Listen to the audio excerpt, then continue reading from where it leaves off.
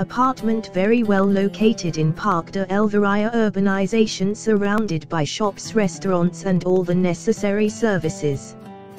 The house has a built area of 82 square meters and has a storage room and community parking.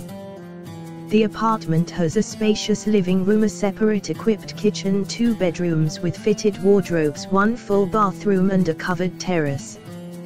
This gated community has a community pool and gardens. The property is located 5 minutes from the beach 10 minutes from the center of Marbella and just 30 minutes from Malaga Airport. Needs reforms.